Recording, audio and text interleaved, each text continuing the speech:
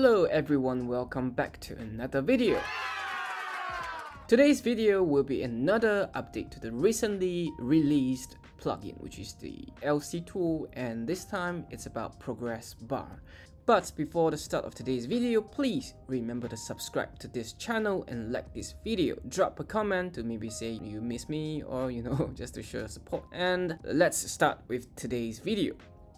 Remember, this is a plugin, so you have to install it. Go to the description box and download the file through the Google Drive link.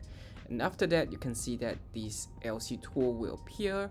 And if you already downloaded this LC tool previously, you might overwrite this file. If not, just double click. So today's one is the LC progress bar. So if you want, you can always just copy this one. If not, just copy the entire folder and go to go home movies motion template and just paste it under the titles folder. And you know overwrite if you have to and that's the folder that you need.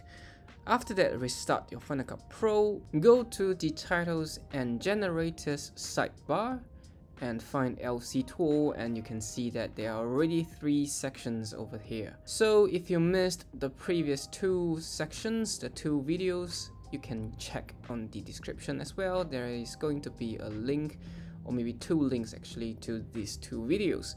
If not, let's jump right into today's section of how do you apply this simple progress bar. So this is the video that I've already you know, done before and exported and yep as you can see that this video is about six minutes long.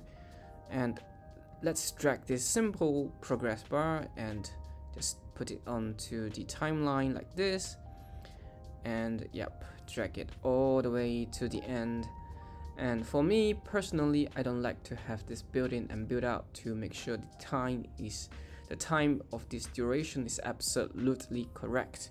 And then you, you might want to go back to the start and maybe at the front you don't need the entire progression until you finish with the intro around you know a few seconds later around here. So that's the part where you want to have a progress bar. So this progress bar is already here and if you want to change the position you can always drag the on-screen control and make it you know up a bit like this. And once you hit play you can see that this progress bar is already ongoing.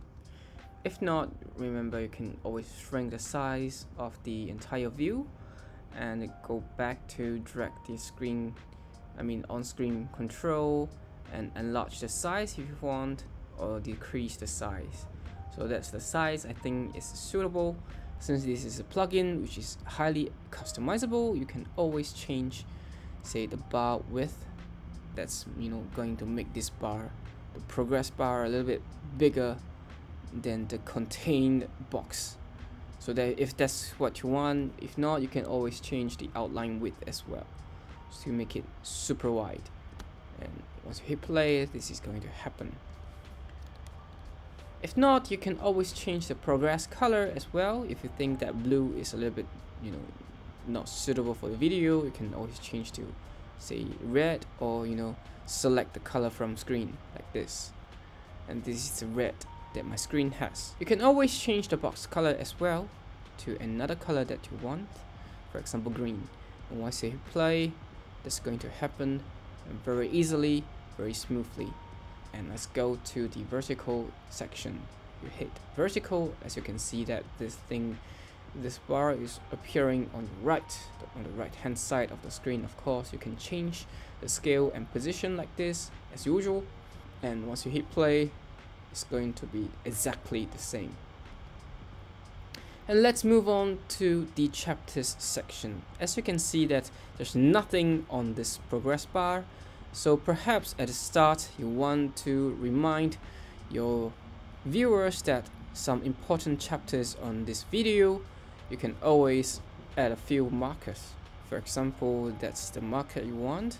So you double click and this marker is appearing here. So the default setting of this marker is you know vertical. So how do you change to the horizontal one, you can go to the inspector on your right, the title inspector. Obviously, you can change the face direction to upright, and that's the only thing that you need to do and drag it over. If you think that this thing is a little bit too small, you can always change the scale like this and drag it. For example, that's the, the effect you want. And of course, you can change the text. So chapter 1 and increase the text size if you want to as well. And that's the chapter size. And you can change the background color if you want. And I'm just gonna leave it like this. And obviously, if you don't like the background, you can always change the opacity back to zero or maybe in the middle, which is not very visible. So I'm gonna have it full blown at 100% and I'm gonna you know remove the build out effect to have a neater kind of effect. And after that I'm gonna add another chapter. But before I'm adding the another chapter that I want I'm gonna you know, lengthen the entire duration and just press option and drag it upwards and you have a second duplicate.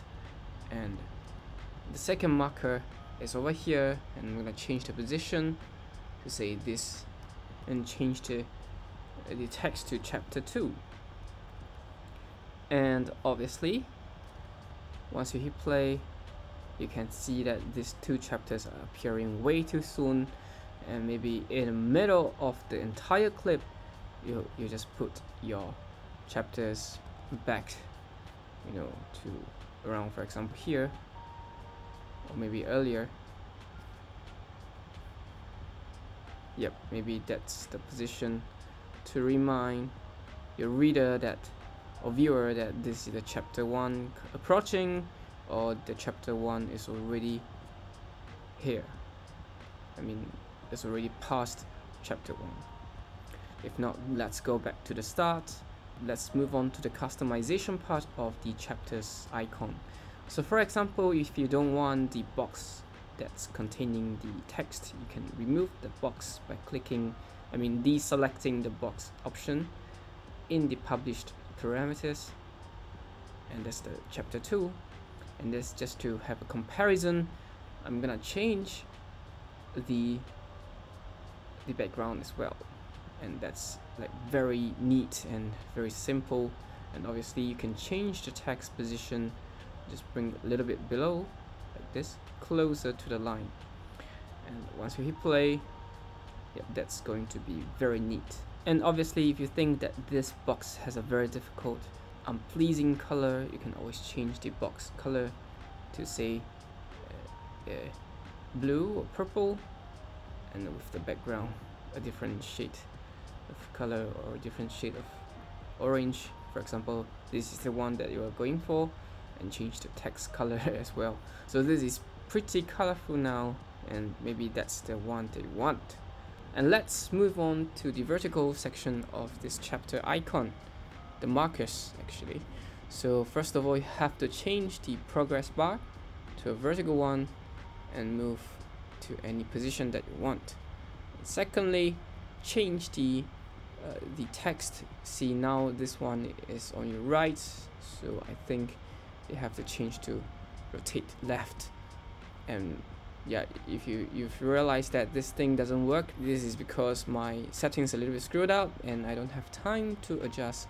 So please bear with me and just drag the position like this and put it at a position that you want. And that's all you need to do. Pretty simple right and if you think that this text is out of position you can always drag like this make sure that this thing is aligned with the line. So that's the one that you want.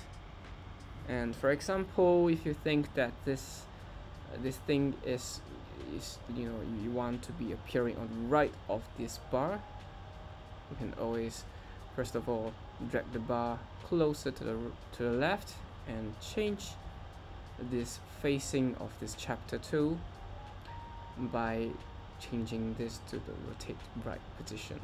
And if you think that this thing is going to disappear or if you already you know suspect that this thing disappear do not be afraid. Just drag the position and this will come back and maybe you change the size of the entire thing by shrinking the size like this. And this thing this marker now is much visible and that's all you want to do and that's all you need to do. And pretty simple and pretty neat and pretty minimalistic. And yep that's the end of today's video. Hope you guys enjoyed this and please again remember to subscribe to my channel and like this video. Drop a comment to show support as well and hope that I have enough time to produce my next video quickly. If not see you when I see you. Bye bye